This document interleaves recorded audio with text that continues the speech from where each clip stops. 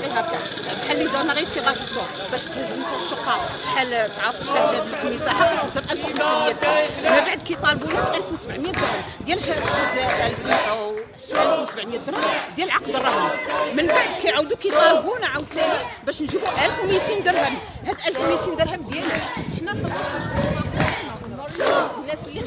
الكريدي خدات الكريدي على واحد المونطون ديال الشقه من بعد دا هذاك المونطون غادي وكيتزاد غادي وكيتزاد داك ال montant حنا بغينا نعرفوا هاد المبالغ اللي كياخذوا منا هاد الناس لاش وديالاش ويعطينا واحد التفصيل باللي فيه رئيس الجمعيه هو اللي كيطلب هاد الفلوس أو الموثق هو اللي كيطلب هاد الفلوس ما يعطوش الناس واحد un bout papier وتيقولوا لي سير خلص شيت في la banque هذا في حد ذاته كيتسمى اهانه للموظف ملي كيتم غادي الموظف un bout papier la banque تيقول لهم ها أنتم خلصوا شتيت هذا في حد ذاته راه اهانه لا يعقل باش نكونوا حنايا موظفين في هذا المستوى ونكونوا غادي نخلصوا بلا بو واش هذو مع عدد المتضررين ولا كاين شي إخوان أخرين آه،؟ كاينين مع كامل الاسف كاينين بعض الإخوان وبعض المستفيدين وبعض المستفيدات اللي هما متضررين المتضررات ما كيبغوش يكونوا ما كيبانوا. ومن هذا من المنبر المحترم تنقول لهم باللي حنايا الملف ديالنا ديال السكن عنده رئاسة مقر رئاسة النيابه العامة في الرباط دازت الشرطة القضائيه في الدار البيضاء والمسطرة غادة والملف واخد مجراه طبيعي وقانوني.